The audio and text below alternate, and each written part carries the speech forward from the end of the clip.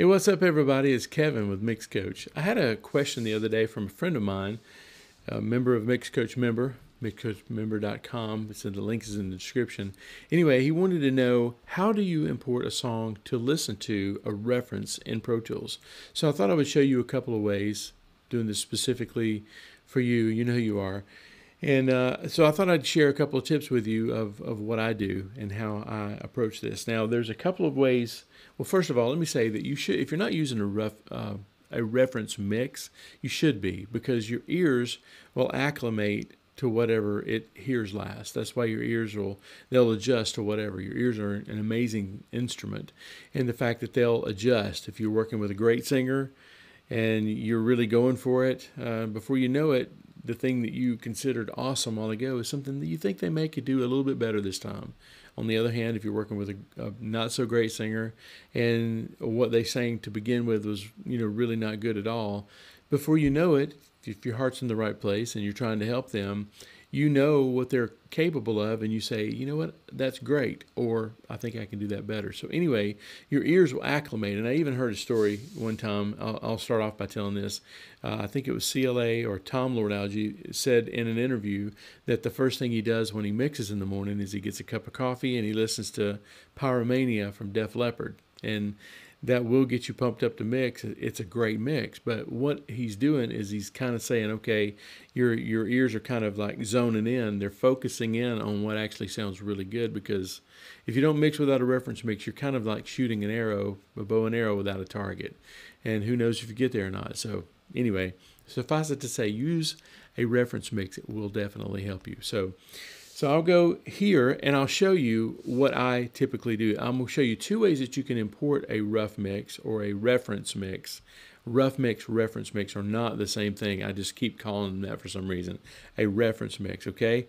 So I'm going to delete this one because I know that it's something that I, I was uh, practicing on a minute ago. So Anyway, so this is from a session we did on Mix Coach Member called Black Dog uh, from a great singer songwriter named Barry Gould. Thank you, Barry, for letting us use your amazing song called Black Dog.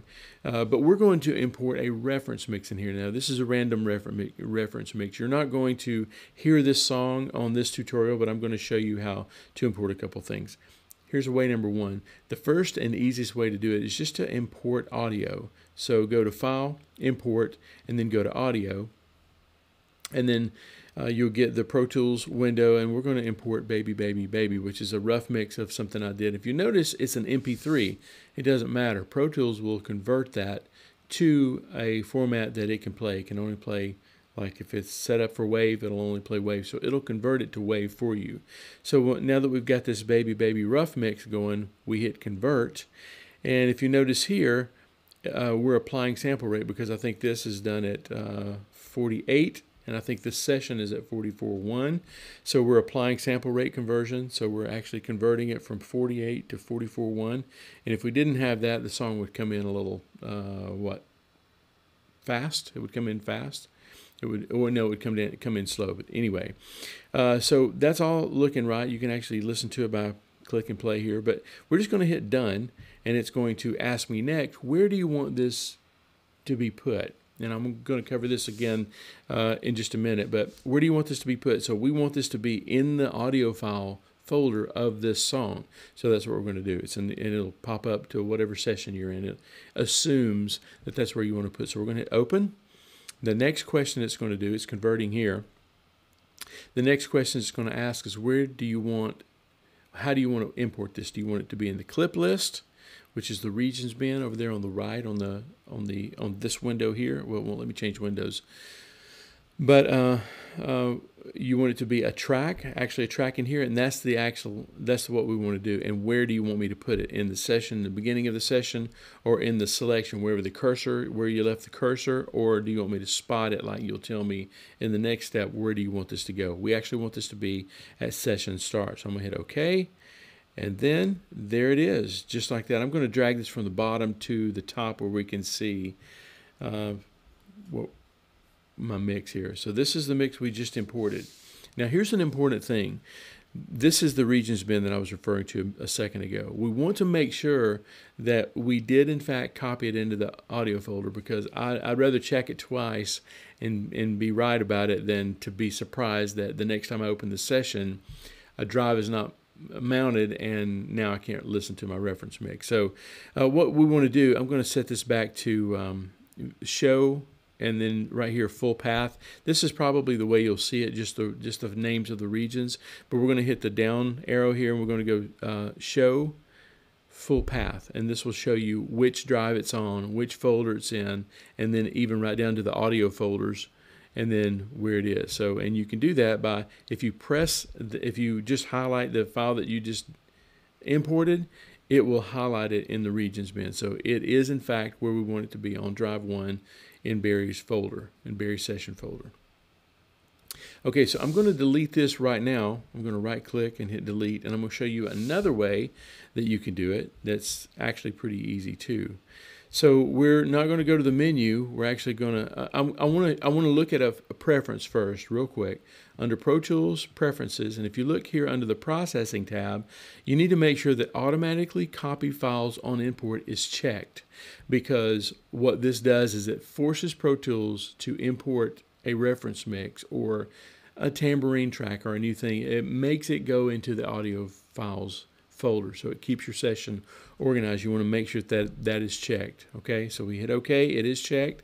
Now the next step we want to do is I actually want to just move this over here and I want to just find a file on my hard drive.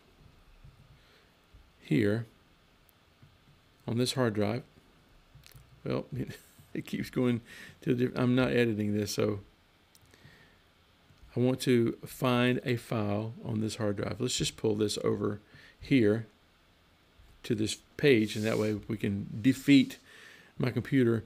And then I'm going to go up here to uh, Dropbox, and I'm going to find this folder here. Now, on this, I'm going to hit Command Plus and get back to this window because this is the window I actually want to dra drag and drop this in, okay?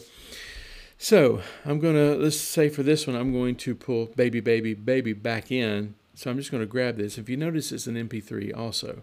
I'm going to pull it over here to the tracks lane here and I'm just, you notice it turns yellow just around the tracks lane. I'm going to drop it right there. And if you notice down here at the bottom I'll move this over so you can see it.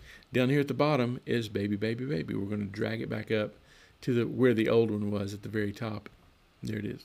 Not quite far enough but there's the mix there. And we want to make sure that when we do it this way you want to really make sure that you are forcing it to be in the audio file in the in the session so you don't want to lose it. So again we've highlighted it it's there we verify that it's drive one we are good to go and all is good with the world. Okay so now the question is how do you listen to files like this without them going back through your master bus? So i was going to show you just a little bit about that.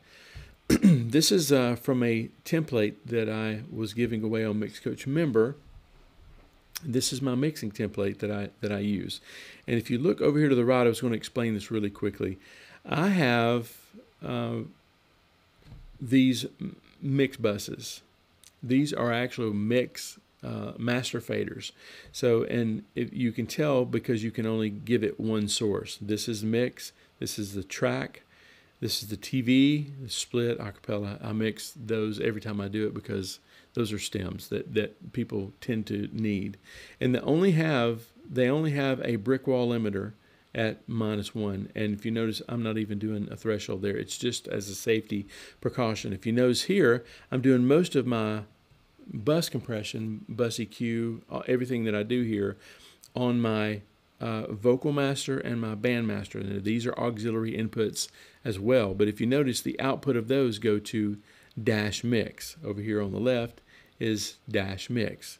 And if you notice here on, on this uh, lane here, or this fader, this is my monitor fader. Now I use a monitor fader because sometimes I want to listen to something different. And all I have to do to listen to something different is change it, you know, to the track bus. And that's what I'm listening to without affecting anything that's going to any one of these mixes. I print all of these at once in one pass. Um, so, and this is the only thing that's going to my ma- main output. This is the only thing that's going to my main monitor left and right. If I mute this, everything in the session goes blank. If there's nothing there. But this actually gives me an option to listen to a mix without it being affected. Also gives me a chance to look at my metering, my monitor uh, mono stereo. If I wanted to put a plug in here, this is what I usually do. I press the mono button here on the Brainworx BX meter, which I think is free. If not, it's really cheap. But this gives me my LUFS, and it also allows me to mono it, and also allows me to listen to the stereo. But if I forget and leave that on, it's no big deal because I'm not printing the mix from this bus. This is just the one I'm listening on. Now, if I decide I want to try to put, say, an SSL bus compressor on it or something like that, and I like the way it sounds, all I have to do then is just pull it over to the mix bus which this, and then it would get printed. Okay. So last thing I want to show you is how do I listen to this import, this mix I just imported. Well, this, um, if you'll notice here, all of these mixes that that I would listen to, these are going to virtual one and two. I'm using Apollo. So I'm going to set this also to output and it's going to be virtual one and two. Now I'm using an Apollo and here's the Apollo. This is the console on the Apollo and I've got you know there are more inputs that you can see on this. I've got it stripped down to where it's easy to see and easy to navigate because some of the stuff I'm not using. Virtual 1 and 2 I am because this is where my mixes and my reference mixes come back to so that I can listen to them on these speakers without anything from the master bus touching it not even a safety brick wall limiter I don't want anything to hear I want to hear what the mix actually sounds like coming from the producer, from the artist. So, um, so yeah, that's how I import reference mixes. This is two easy ways to do that. And then that's how I listen back and compare. Oh, let me show you one other thing.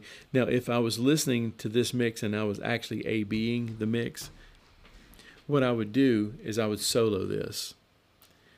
And then, so it's playing along with everything. Now, I've got a, I've got a, uh, control surface over here and I can actually solo. If you notice here, I can actually solo from my surface and I can also mute and this is what I'll do.